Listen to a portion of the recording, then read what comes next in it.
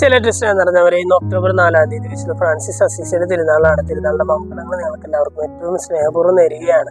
ഇന്നത്തെ ലേഖനഭാഗത്തിൽ പൗലൂസിലെ റോമാക്കർക്ക് ഇത് ലേഖനമാണ് നമ്മൾ വായിച്ചു കേട്ടത്. അവിടെ കൃത്യമായിട്ട് പൗലൂസിനെ പറയുകയാണ് ശരീരത്തിന്റെ ആഗ്രഹങ്ങൾക്കനുസരിച്ച് അഭിലാഷങ്ങൾക്കനുസരിച്ച് ജീവിക്കുകയാണെങ്കിൽ നിങ്ങൾ മരിക്കും. എന്നാൽ ശരീരത്തിന്റെ അഭിലാഷങ്ങളെ ആത്മാവിനാൽ നിഹനിക്കുന്നെങ്കിൽ നിങ്ങൾ ജീവിക്കും എന്ന് പറയുകയാണ്.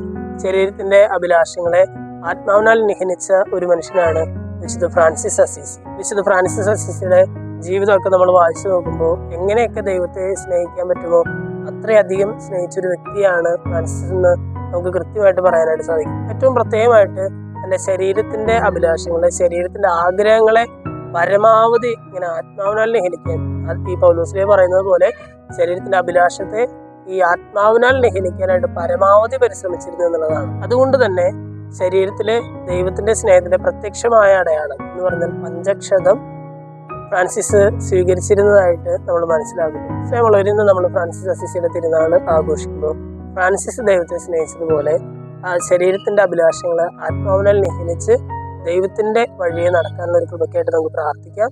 ദൈവം നമ്മെല്ലാവരെയും സമർത്ഥമായിട്ട് അനുഗ്രഹിക്കും